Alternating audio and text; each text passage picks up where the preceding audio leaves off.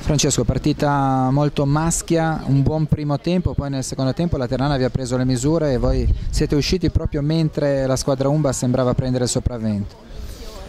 Ma sapevamo che era una partita difficile, siamo riusciti a sbloccarla un, per un episodio e niente, la ripresa c'è stato questo tiro da, da 30 metri che l'attaccante ha deviato e forse ci eravamo passati un, un, po' troppo, però poi siamo, siamo, siamo stati bravi a, a, rimetterci subito in partita e a far gol. Il risultato è fondamentale, ci permette di lavorare bene e di continuare su questa strada. Ecco, 15 punti sono un buon motivo, un buon mattino, un mese fa eravate ultimi Francesco. Sì, eh, sapevamo che eh,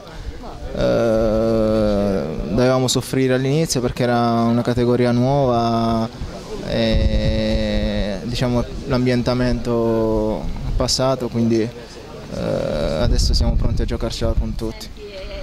Ecco, per quanto riguarda la Ternana, il loro mister era molto arrabbiato col portiere. È difficile trovare un mister che se la prende con un uh, suo giocatore, però Tessera ha detto chiaramente su quei palloni bisogna andarci con la mano e metterli in calcio d'angolo. Questo è segno un po' di nervosismo di una squadra che non fa punti da tanto tempo. Ma uh, l'allenatore valuta, giudica uh, quello che si fa in campo, quindi si è detto così.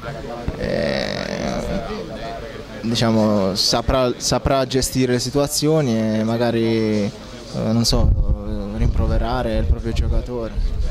Ecco, questa qua si poteva definire una sfida a salvezza perché insomma la Ternana non ha tanti punti, questi sono punti che contano doppio per voi. Sì, diciamo che era uno scontro diretto e eh, dovevamo vincere perché comunque in casa bisogna far punti.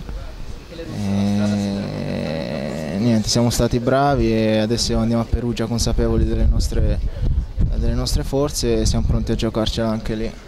Personalmente come stai? Ti abbiamo visto molto bene lì a centrocampo stasera. Sì, sto bene fisicamente, eh, niente, cerco di lavorare duramente eh, durante la settimana e cercarmi di, far trovare, di farmi trovare pronto in qualsiasi occasione.